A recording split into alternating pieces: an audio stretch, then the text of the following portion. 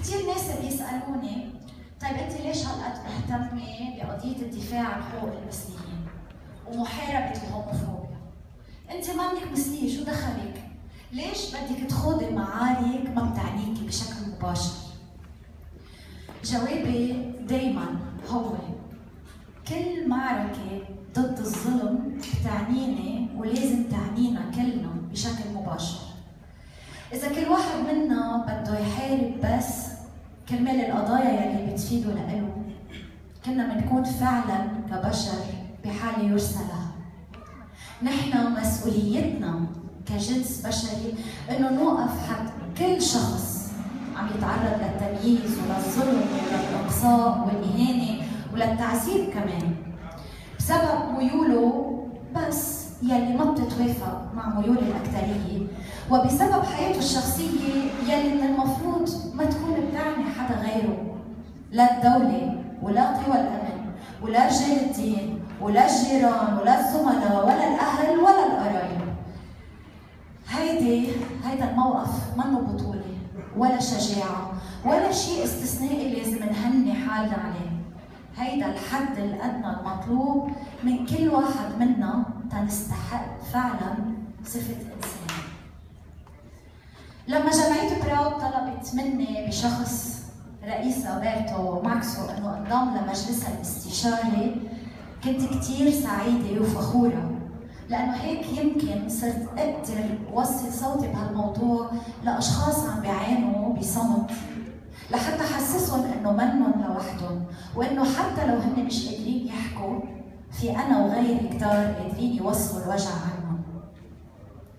نحن بحاجة ماسة إنه نوصل لوقت ما نعود نفكر فيه بمثلي ومثلية بمثلي ومشتهي للغير بمسيحي ومسلم بأجنبي وعربي بمؤمن وملحد بمرأة ورجال إلى آخره. نحن فعلا بحاجة ماسة إنه نبطل نطلع بالناس كإتيكيتات وعناوين.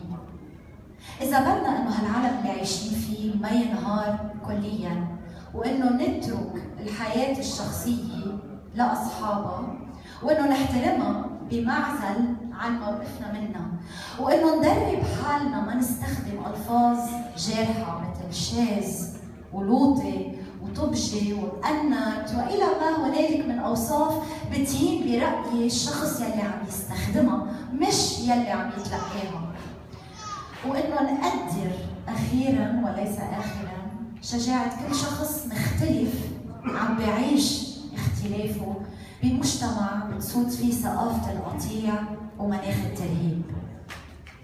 بتمنى من كل قلبي نوصل لوقت ما نعود فيه بحاجة لدعم جمعيات مثل جمعية Proud. ولا ل events مثل هيدا ال event اللي نحن فيه هلأ. ولا لمناقشة هيك مواضيع ولا لندافع ونشارع وندعم. بتمنى نوصل لوقت تكون فيها الأمور صارت من البديهيات والمسلمات. بس من هلا لبين ما نوصل لهديك المرحلة بعدها هالجمعيات وتحديدا براود بحاجة كتير لدعمكم المادي والمعنوي.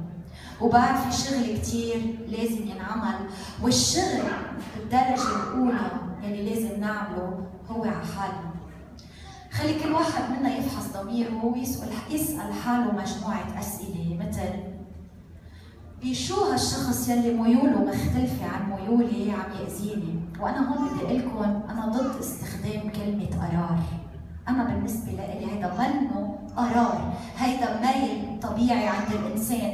مش بيقرر الواحد إنه بده يكون مثلي أو بده يكون مشتهي للغير تاني سؤال.